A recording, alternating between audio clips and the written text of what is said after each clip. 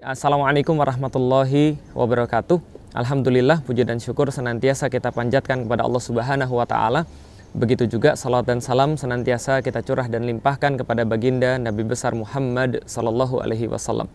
Kita berju eh, kita berterima kasih kepada Allah Subhanahu wa taala telah dijumpakan dalam kondisi yang baik.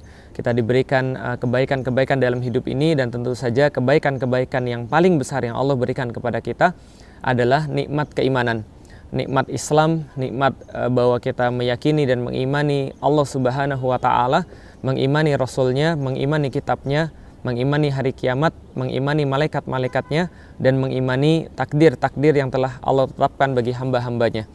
Uh, teman-teman sekalian, uh, saya sedikit ingin menjelaskan tentang perkara Al-Qur'an adalah kalamullah ketika saya membuat status uh, pagi ini, kemudian banyak sekali masukan-masukan yang datang kepada saya.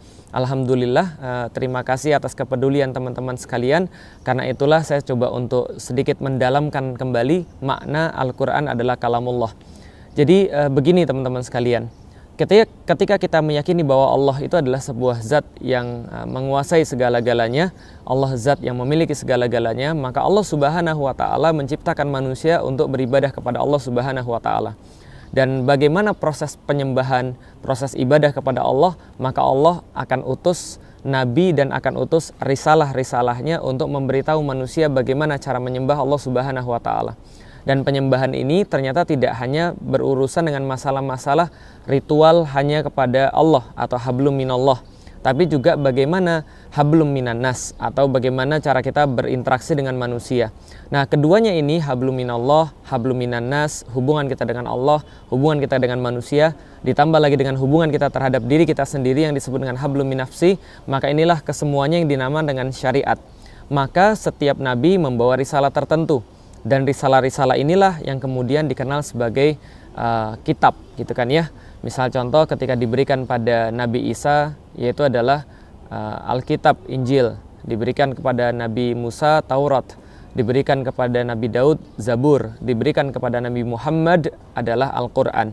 Mereka disebut dengan Alkitab, mereka disebut dengan kitab suci. Maka Al-Quran adalah bagian daripada kitab suci yang Allah turunkan kepada manusia, kitab yang disucikan oleh manusia karena di dalamnya tidak ada tercampur perkataan-perkataan manusia, di dalamnya tidak ada keraguan di dalamnya, di dalamnya tidak ada pertentangan di dalamnya, di dalamnya justru adalah bagian daripada mukjizat, yaitu adalah sesuatu yang datang daripada Allah dan tidak ada yang dari yang lain apalagi dari manusia. Maka Allah Subhanahu wa taala memulai surat Al-Baqarah dengan kata-kata zalikal kitabu la raiba fih hudal lil muttaqin. Kitab ini tidak ada keraguan di dalamnya, petunjuk bagi orang-orang yang bertakwa. Kemudian Allah mengulangi kemudian uh, di dalam surat Al-Baqarah surat yang sama ayat ke-23 wa in kuntum fi raibim mimman nazzalna ala abdina fa'tu bi suratim dan bila kalian tetap mengatakan atau tetap meragukan bahwa Al-Quran ini yang kami turunkan terhadap hamba kami Muhammad ini datang daripada Allah Subhanahu wa Ta'ala, maka coba datangkan satu surat yang semacamnya. Fa'ilam taf'alu walan taf'al. Dan kalian tidak akan dapat untuk melakukannya dan tidak akan pernah dapat untuk melakukannya. Kenapa? Karena ini datangnya daripada Allah Subhanahu wa Ta'ala. Allah yang langsung menurunkannya.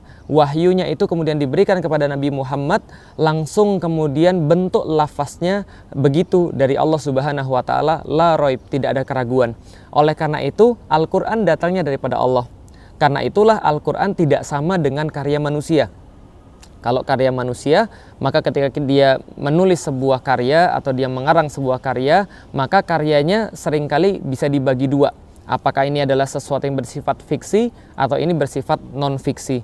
Yang sudah disepakati dalam bahasa Indonesia adalah yang bersifat fiksi artinya dia berdasarkan khayalan, dia berdasarkan rakaan, dia berdasarkan imajinasi. Untuk apa? Untuk juga mem, uh, membuat imajinasi pada pembacanya, untuk menghantarkan informasi-informasi pada pembacanya yang bisa jadi betul, bisa jadi tidak betul.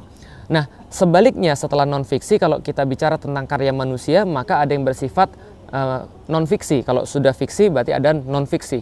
Non fiksi ini apa? Uh, berdasarkan misalnya penelitian, berdasarkan kejadian nyata. Ada juga fakta, ada juga faksi misalnya, autobiografi, kemudian kenyataan hidup seseorang itu juga ada. Ada juga yang disebut dengan fiktif. Nah, kalau fiktif ini jelas adalah kebohongan. Dia meraka-raka, bukan hanya meraka-raka secara menghayal, bukan hanya meraka-raka secara kemudian membuat sesuatu yang positif atau negatif, tapi dia lebih kepada berbohong. Ini fiktif. Contoh, data-data fiktif. Contoh, omongan-omongan fiktif, janji-janji fiktif ini tidak ada manusia yang suka, tidak ada manusia yang ridho. Semuanya menyepakati bahwa berbohong adalah sesuatu yang jelek. Tidak beragama pun meyakini bahwa fiktif adalah sesuatu yang salah. Tapi bila Al-Quran dimasukkan ke dalam sesuatu yang bersifat fiksi, tentu saja ini adalah sebuah kesalahan. Kenapa kesalahan? Karena Al-Quran adalah ranah Allah, bukan ranah manusia. Ranah Allah tidak ada kemungkinan benar dan salah ranah Allah tidak ada kemungkinan lemah dan kuat. Ranah Allah tidak termasuk perkara-perkara yang bisa untuk diperdebatkan.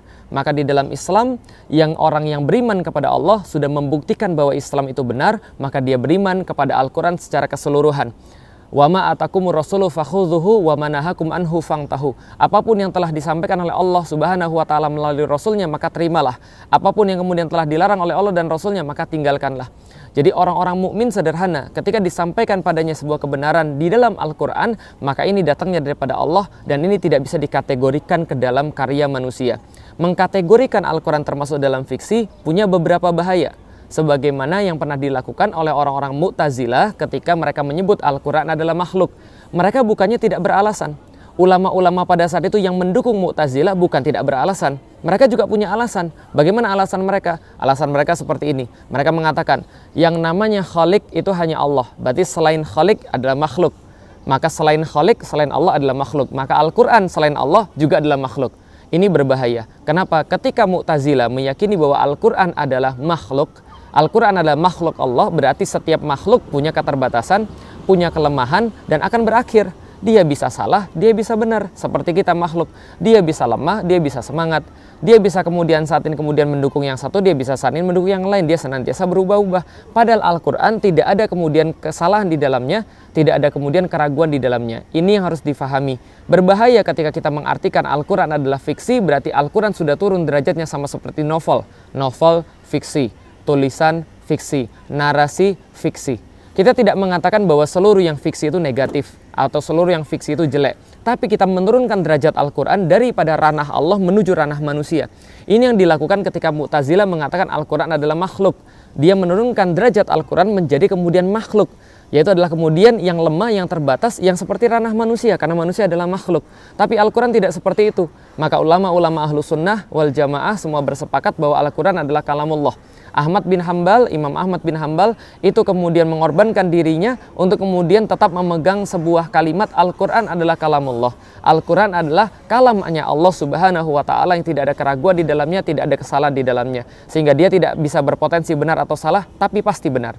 Sehingga dia tidak berpotensi akan terbukti atau tidak, pasti terbukti. Sehingga kita tidak katakan Al-Quran adalah fiksi, tapi Al-Quran adalah kalamullah yang diyakini, bukan membentuk imajinasi belaka, tapi kita meyakini dia. Walaupun kemudian imajinasinya tergantung kita masing-masing tidak menjadi masalah.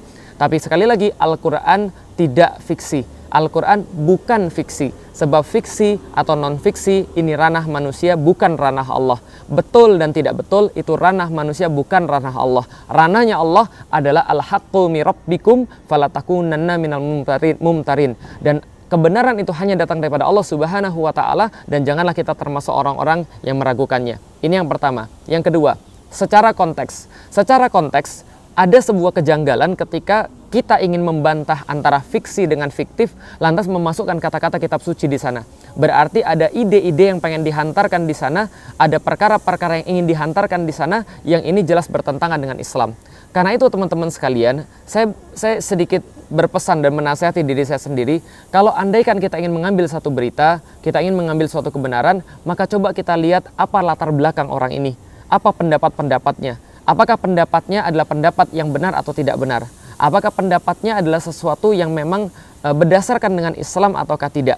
Bila tidak berdasarkan dengan Islam, maka kita boleh ambil kebaikan-kebaikan secara universal dan umum, namun kita tidak bisa mengambil semuanya. Apabila kemudian pernyataannya salah, maka tinggalkan. Karena tidak selalu lawan daripada lawan kita adalah kawan kita. Tidak selalu enemy of our enemy is, is our friend. Lah kenapa? Karena bisa jadi kita bersama tapi kita berbeda pandangan. Kita bersama pada saat ini tapi kita berbeda visi dan misi. Ada sebuah hal yang berbahaya ketika kita kemudian terlalu mengulu-ulukan seseorang atau satu kelompok tapi kita melupakan bahwa kebenaran datang daripada Allah Subhanahu wa taala. Yang ketiga, teman-teman sekalian, baik yang melapor ataupun yang dilaporkan ini tidak berpijak kepada kebenaran. Yang melapor hanya urusan politis, mereka sangat bermuatan politis yang dilaporkan pun tidak berpejak pada kebenaran dan beberapa pernyataan-pernyataannya juga perlu untuk dicermati dan dikritisi. Oleh karena itulah teman-teman sekalian, kewajiban saya adalah menyampaikan. Adapun yang mengatakan ini adalah sesuatu yang berbahaya kalau disampaikan karena karena akan memicu kemudian perdebatan satu sama lain. Lalu pertanyaannya, apakah saya harus diam ketika saya mendapati sesuatu yang tidak betul, sesuatu yang tidak sesuai dengan syariat Allah? Teman-teman sekalian, saya memasuki agama Islam sebab saya meyakini bahwa Al-Quran bukan, bukanlah sebuah fiksi. Tapi saya meyakini Al-Quran adalah satu-satunya kebenaran yang layak dipercaya di muka bumi ini selain daripada hadis Rasulullah Sallallahu Alaihi Wasallam. Al-Quran, As-Sunnah, Kitabullah, Wasunnah Rasulullah Sallallahu Alaihi Wasallam adalah bagian yang sangat penting daripada Islam. Karena itu ini berkaitan dengan keimanan dalam perkara eh, dalam pandangan saya. Karena itulah teman-teman sekalian di, eh, di ditanamkan betul dalam diri kita bahwa Al-Quran adalah kalam Allah. Tentu video ini tidak ditujukan untuk siapa pun, nama-nama tertentu, tapi mereka-mereka yang mau untuk mendengarkan nasihat termasuk diri saya secara pribadi. Sekali lagi, perkataan saya pun adalah sebuah narasi fiksi. Bukan seperti Al-Quran yang pasti benar. Tentu bisa jadi saya yang salah, tentu bisa jadi saya yang hilaf, bisa jadi saya yang silap. Karena itulah mohon maafkan kalau saya ada salah, ambil kebenarannya yang jelas Al-Qur'an bukan fiksi tapi kalamullah. Tolong jangan jangan bawa Al-Qur'an di dalam ranah manusia. Al-Quran tetap suci, Al-Quran tetap agung, tidak boleh kemudian dimasukkan dalam ranah fiksi, dan sampai kapan pun tidak boleh dimasukkan dalam ranah karangan-karangan ataupun karya manusia, apalagi disangka sebagai rekaan, apalagi disangka sebagai kemudian suatu manipulasi dan sebagainya. Uh, tetap berpegang pada pada uh, tali agama Allah, tetap berpegang pada apa yang Allah dan Rasulullah gariskan dan mudah-mudahan kita mendapatkan kebaikan daripada Allah Subhanahu wa taala. Karena tidak semua daripada orang-orang yang kini bersama kita lalu kemudian mereka meyakini apa yang kita yakini. Mudah-mudahan Allah senantiasa memperbaiki hubungan kaum muslimin di antara kaum muslimin.